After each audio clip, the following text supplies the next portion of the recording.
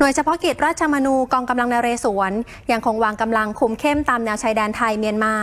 พร้อมทั้งออกลาดตระเวนเฝ้าตรวจเพื่อป้องกันการลุกล้ำอธิปไตย สร้างความปลอดภัยในชีวิตและทรัพย์สินให้แก่พี่น้องประชาชนชาวไทย ที่อาศัยอยู่ตามแนวชายแดนด้านอำเภอแม่สอดจังหวัดตากอย่างต่อเนื่องค่ะซึ่งล่าสุดนะคะทางศูนย์สั่งการชายแดนไทยเมียนมาจังหวัดตาก ได้ออกแถลงสถานการณ์ชายแดนว่าตลอดทั้งวันของวันที่ 12 พฤษภาคม 2567 ที่ผ่านมา ยังคงมีการประทะกันระหว่างทหารเมียนมา และกลุ่มต่อต้านรัฐบาลเมียนมา ในพื้นที่ตอนในฝั่งประเทศเมียนมา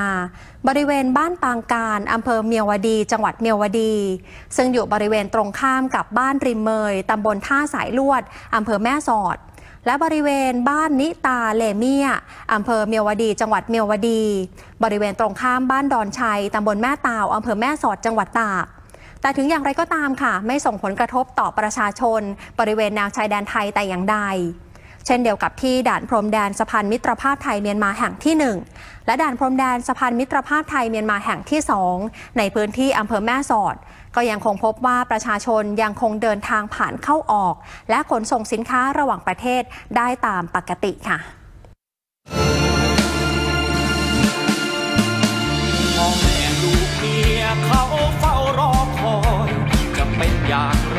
รบ้างรับรู้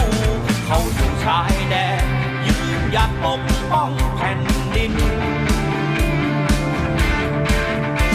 ลำบากตรากตรำแม้ในยามกิน นอนไม่เคยอิ่มในพงพัฒนา เพราะไม่อาจรู้ว่า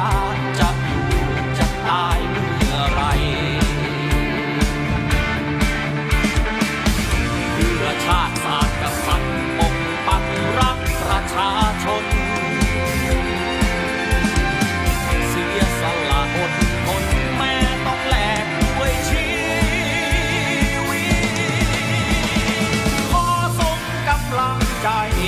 ขอส่